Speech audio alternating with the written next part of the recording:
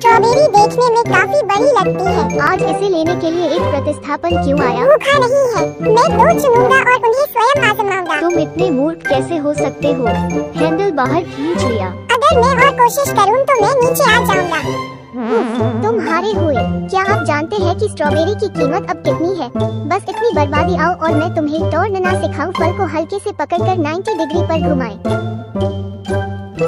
ठीक कितनी स्ट्रॉबेरी उठाई गई है। बस कितना पता है। मैं तुम्हें देखता हूँ और तुम एक नौ सिखिया हो। ऊपर आओ और एक को तोड़ दो।